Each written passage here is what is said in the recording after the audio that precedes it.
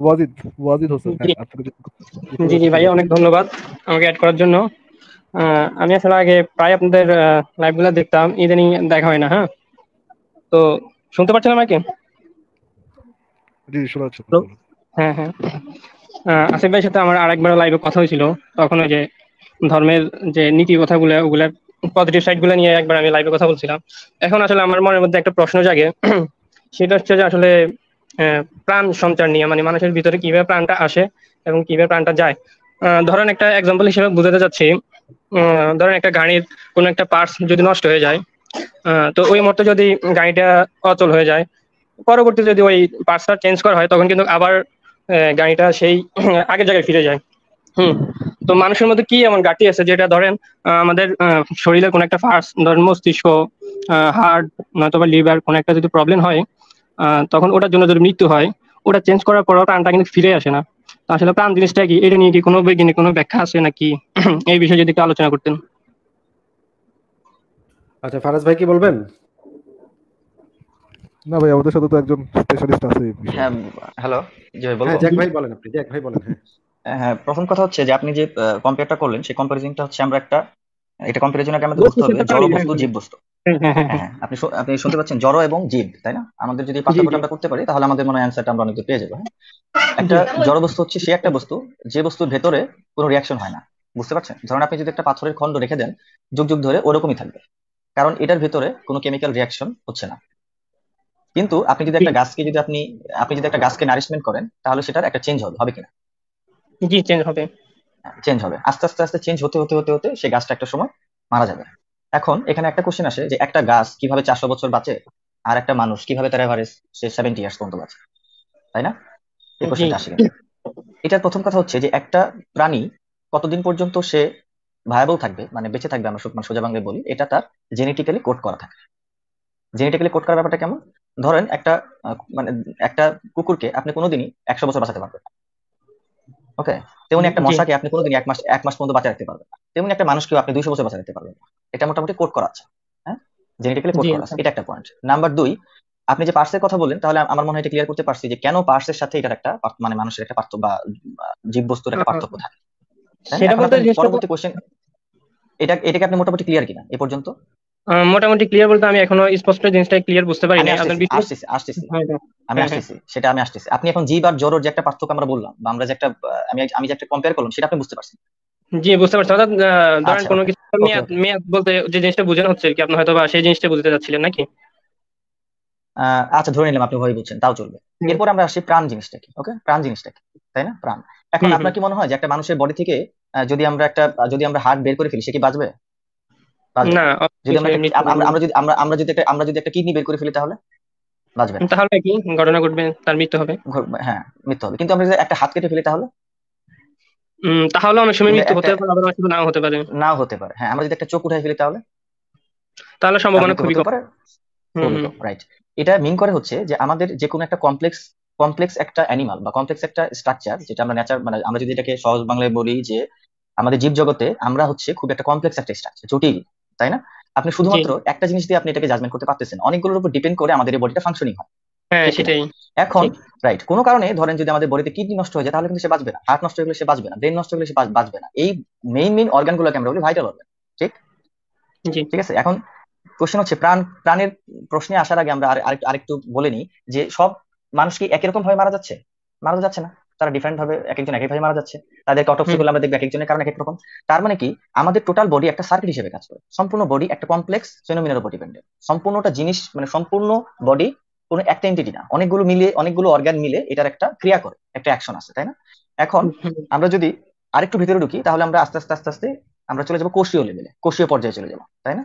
এখন এই কোষীয় হুম। পর্যায়গুলো প্রত্যেকটা আবার আলাদা আলাদা। একটা হার্টের কোষ একটা ব্রেনের কোষ একটা কিডনির কোষ খুবই চমৎকার ভাবে তারা খুবই আলাদা আলাদা। তাদের ডিফারেন্সিয়েশনটা খুবই অদ্ভুত ভাবে মানে বিবর্তনের মাধ্যমে হয়ে গেছে তাই না?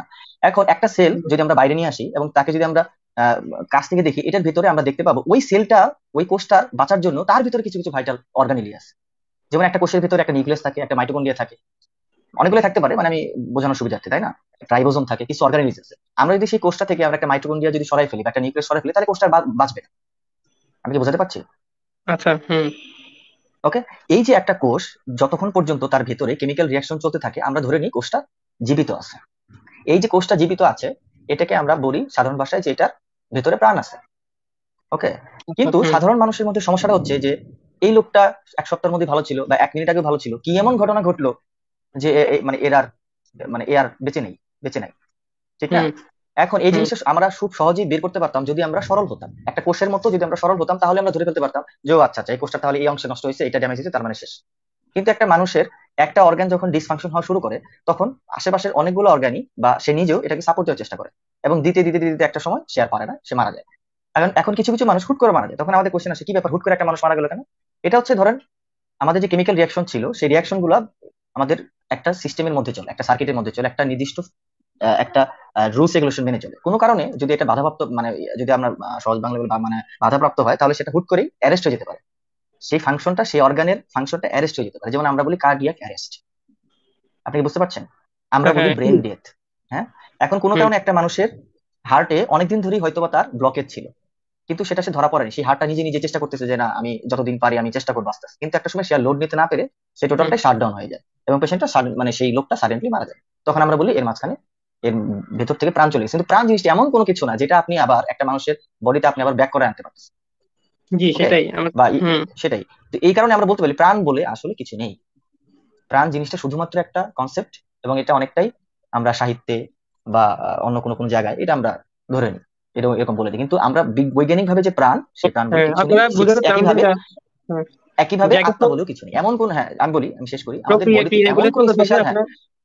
আমাদের বডিতে এমন কোন স্পেশাল কোনো কিছু নেই যেটা মানে আমাদেরকে বাঁচিয়ে রাখার জন্য দায়ী বা আমাদেরকে ভায়াবল রাখার জন্য দায়ী। একটা কমপ্লেক্স প্রসিডিউর সেই কমপ্লেক্স প্রসিডিউরের মধ্যে ভাইটাল অর্গানগুলোর যে কোনো একটাতে সমস্যা হলে আমরা মারা যেতে পারি। অর্থাৎ প্রাণ বলেও কিছু নেই আত্মা বলেও কিছু নেই। আচ্ছা তাহলে মানে আমার প্রশ্নটা ছিল এরকম আর কি। জানি না আপনি আবার জিনিসটা বলবেন যে আমি হয়তো আপনার অ্যান্সার বুঝি নাই। জিনিসটা আমি আর একটু স্পষ্ট হওয়ার জন্য বলতেছি। ধরেন কাউকে শ্বাসরুদ্ধ করে মারা হয়েছে আর কি হ্যাঁ? তো তখন। বা মারা গেছে কোনোভাবে তো সেই ক্ষেত্রে তার সাধারণত কি কি পরিবর্তন? এটা কি শরীরের সকল পার্টসের মধ্যে প্রভাবটা ফেলে দেয় নাকি? আচ্ছা মুহূর্তের মধ্যে কোশ্চেনটার আপনার এই কোশ্চেনটা আসলে এই কোশ্চেনটার অ্যান্সারটা আসলে এইভাবে দেওয়া যাবে না। তবে আমি আপনার কনসেপ্ট ক্লিয়ার করে দিই। ধরেন একটা মানুষ আমরা দেখে বুঝতে পারি আপনি আপনি এম- এমন কোনো মানুষ দেখছেন এমন কোনো রোগী দেখছেন যেটা দেখে আপনি কনফিউজ কনফিউজ হয়ে যাচ্ছেন যে পেশেন্টটা বেঁচে আছে না বেঁচে নাই? একটা পেশেন্টকে যখন যখন আইসিইউতে ট্রান্সফার করা হয় একটা পেশেন্টকে যখন আইসিইউতে রাখা হয় তখন একটা পেশেন্টকে দেখে কিন্তু মনে হয় সে মারা গেছে। এরকম কি এরকম কি আপনি শুনেছেন বা দেখেছেন? অনেকেও এরকম দেখছে। আমি আসলে বিগত অনেক দিন যাবত আমি হসপিটালে ছিলাম। এরকম দেখছে যে তার শরীরের হার্টবিট ছাড়া আর কোনো মানে আর কোনো অঙ্গের কোনো সারা মানে কোনো সারা নেই। এক্স্যাক্টলি শুধুমাত্র। এক্স্যাক্টলি হ্যাঁ, আসলে বিষয়গুলো মাঝে মাঝে প্রশ্নবিদ্ধ করে সেটাই আপনাকে সেটাই আপনাকে বোঝানোর চেষ্টা হ্যাঁ সেটাই আমি আপনাকে বোঝানোর চেষ্টা করতেছি যে একটা পেশেন্টকে যখন আমরা আইসিইউতে নিয়ে যাই আপনি কোমার নাম শুনেছেন? কোমা হুম হুম ওইটাই তো সাধারণত কমায় ইঙ্গিত করা হয়। হ্যাঁ এটাকে আমরা বলি হচ্ছে মেডিকেল সায়েন্সের ভাষায় আমরা বলি lockdown syndrome lockdown syndrome okay এটাকে আমরা ধরে নিই বা বাইরে থেকে একটা মানুষ সাধারণ মানুষ দেখলে বুঝতে পারবে যে পেশেন্টটা ডাক্তাররা আপনাদেরকে বলবে জীবন মৃত্যু সন্ধিক্ষণে আছে। বলে না? মানে হচ্ছে তার যে ভাইটাল যে অর্গানগুলা সেগুলো ভিতরে ভিতরে স্ট্রাগল করতেছে বা আমরা এটাকে বিভিন্ন মেডিসিনের মাধ্যমে বা সাপোর্টের মাধ্যমে চেষ্টা করতেছি যাতে সে ওই ফাংশনগুলো প্রত্যেকটা যে ভাইটাল অর্গান সেগুলো ফাংশন করতে পারে যেটা আবার কাম ব্যাক করতে পারে। রাইট কিন্তু একটা মানুষ দেখে বুঝবে যে না এটা তাহলে পেশেন্টটা মনে হয় মারা গেছে মনে হয় বেঁচে নাই মনে হয় মারা গেছে। এখানেই খটকাটা লাগে আসলে। বুঝতে পারছেন? এটাই এখন মানে আপনি যদি একটা। পেশেন্টকে পেশেন্ট আইসিইউতে ভর্তি আপনি যদি এর এর বাইরে যদি কেউ সারা ওয়ার্ল্ড যদি সে তসমস করে ফেলে বা যদি সে কোনো অন্য কিছুর উপর বিশ্বাস স্থাপন করে তাহলে এটা কোনো অ্যাবসলিউট কিছু না। এমন এমন এমন পেশেন্ট আমরা অনেক অনেক পেয়েছি যে বাইরে ধরেন আহ, তার যে আত্মীয় স্বজন তার ধর্মীয় অ্যাঙ্গেল থেকে সে ওখানে মানে চেষ্টা করেই যাচ্ছে করেই যাচ্ছে। তারপরে তো পেশেন্টটাকে বাঁচানো গেল না। বা অনেকে আছে কিছুই করেনি তারপরে পেশেন্টটা বেঁচে গেল। বুঝতে পারছেন ব্যাপারটা? মানে মানে হ্যাঁ কথাগুলো বুঝতে পারছেন? পরীক্ষার উপরে সবকিছু চলে। হ্যাঁ অনেকটা এরকম কি। আপনি যেভাবে আপনি কীভাবে বিশ্বাস করতেন সেটা আমার আমাদের কোনো হেডেক নাই। আমাদের হেডেক হচ্ছে পয়েন্টে সেই পয়েন্টটা হচ্ছে কি পেশেন্টটাকে কীভাবে করলে পেশেন্টটা আবার সুস্থ হয়ে উঠবে বা কামব্যাক করতে পারবে? সেটা আমাদের পয়েন্ট আপনি কি বিলিভ করতেছেন কে কি করতেছে সেটা আপনি কি কার উপর দায় চাবে সেটা তো আমাদের দেখার বিষয় না। আমরা সাইন্টিফিক্যালি যে অ্যান্সারটা সেটা আমি আপনাকে শো করলাম। অ্যাকসেপ্ট করা না করা আপনার ব্যাপার? অর্থাৎ শেষ পর্যন্ত এটা মানে বুঝতে পারা গেল যে যদি দেহের কোনো একটা পার্ট যদি কোনো একটা প্রবলেম হয় তখন এটা প্রত্যেকটা পার্টের উপরে প্রভাবটা ফেলেছি। তখন আস্তে আস্তে ওগুলোকে মানে অকার্যক্রম মানে অক্ষম করে ফেলার নাকি এরকম কিছু।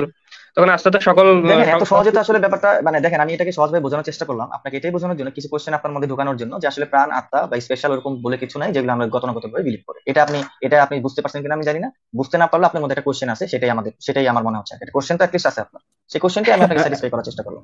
এক কথায় এক কথায় যে জিনিসটা বলা যায় সেটা হচ্ছে ওয়াজেদ ভাই যে কথাটা বলা যায় সেটা হচ্ছে প্রাণ বলতে আমরা যেটা বুঝি সেটা হচ্ছে শরীরের একটা মেকানিজম সেই মেকানিজমটার মধ্যে যদি আপনার কোনো একটা অংশ যদি সেই মেকানিজমের জন্য যে জিনিসগুলো দরকারি সেটা যদি একটা জায়গায় যদি ছেদ পড়ে তাহলে মেকানিজমটা পুরোটা নষ্ট হয়ে যায়। এবং মেকানিজমটা নষ্ট হয়ে গেলে সেটাকে সেই বডিটাকে আমরা ডেড বলি ঠিক আছে? মারা গেছে বলি।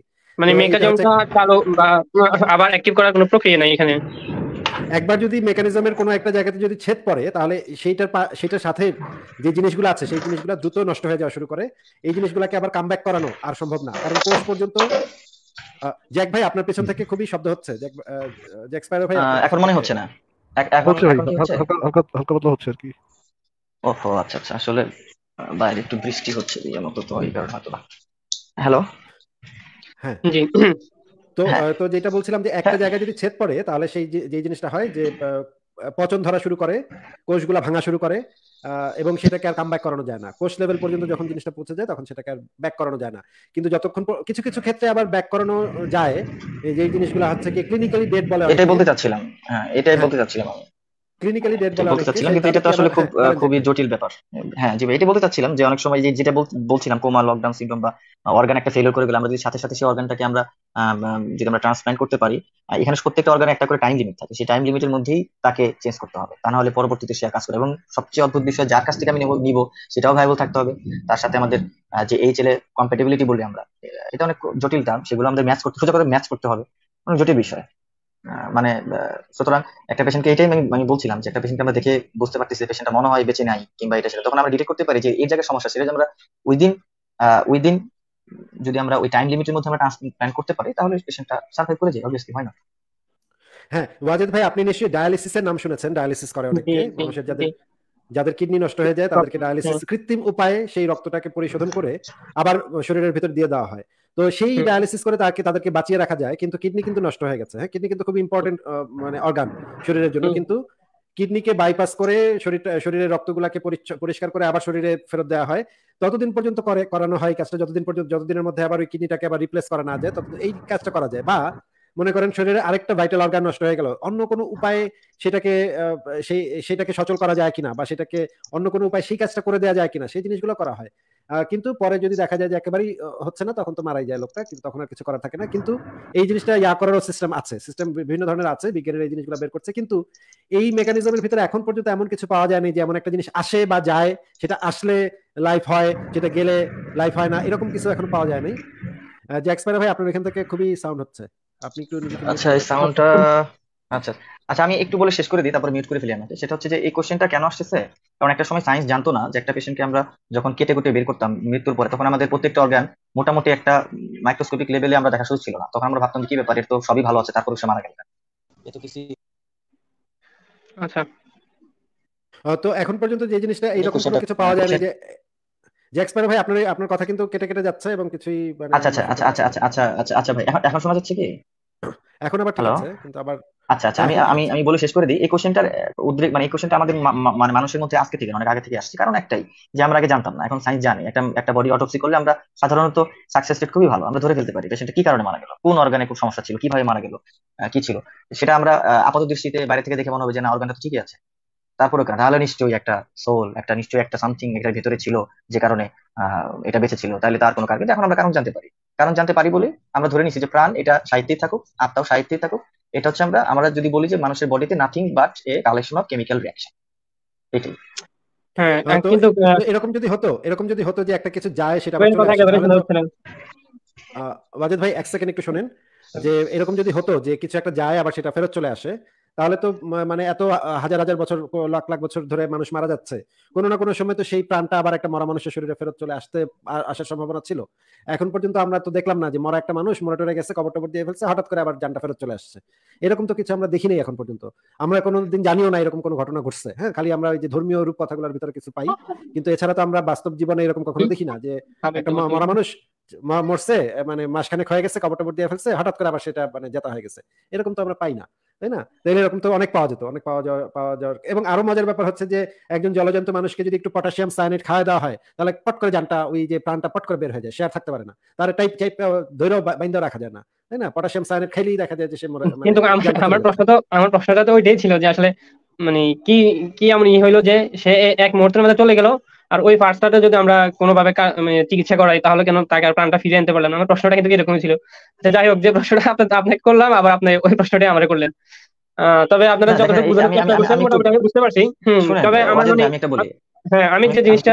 খেয়াল করলাম যে আসলে অনেক বড় বড় সাইন্টিফিক অনেক বড় বড় ডাক্তার যারা সবসময় মানে আহ, মনে করেন প্রাণ প্রাণ বলেন আর আপনাদের যে অর্গান নষ্ট হওয়ার কথা বললেন ওইরকম মানে ওগুলোর ভিতরে যারা থাকে ওরাও দেখে তো মানে অধিক পরিমাণে ধর্ম বিশ্বাসী থাকে এবং কি আহ সবসময় নামাজ পড়ে বা সবসময় ভরসা দেয় সবসময় মানে আল্লাহর কাছে চাইতে বলে। তো এই জিনিসগুলো ভাবে যে জিনিসটা আপনারা বুঝেন সেই জিনিসটা ওনারা বুঝতেছে না এই জিনিসগুলো মানে একটু প্রশ্নবিদ্ধ আর কি। আমার আচ্ছা। কথা কি বুঝতে পারছিলাম? হ্যাঁ ঠিক আছে ভাই বুঝতে পেরেছি। তাহলে আপনাকে কি আজকে বিদায় জানাব আমরা? আচ্ছা ঠিক আছে ওকে আচ্ছা। ঠিক আছে। ভালো থাকেন। ঠিক আছে? আবার কথা হবে ভবিষ্যতে। জ্যাক্সপারো ভাই, আপনি বোধহয় লাস্টে কিছু বলছিলেন, এখন বলতে পারেন। না, এটা হচ্ছে পটাশিয়াম সায়ানাইড যেটা অনেকদিন ধরে একটা রহস্যাবৃত ব্যাপার ছিল, যেটা দেওয়ার সাথে সাথে কেন মারা যাচ্ছে। এটা আসলে পরবর্তীতে আমরা ইজিলি সায়েন্স অনেক আগে প্রমাণ করেছে, যেটা সেলুলার লেভেলে হাইপোক্সিয়া হয়ে যায়। একদম সেলুলার লেভেল হাইপোক্সিয়ার কারণে মারা যায় এটা আর কি। আর উনি যেটা বলল যে আমাদের এটা হয়ে যায়, অনেক বড় বড় সায়েন্টিস্ট তো তারা আস্তিক ছিলেন, তাই না? এটা আসলে যার যার, এটা তো আসলে দীর্ঘ একটা আলোচনার বিষয় কেন তারা এটা একটা বাট এই আর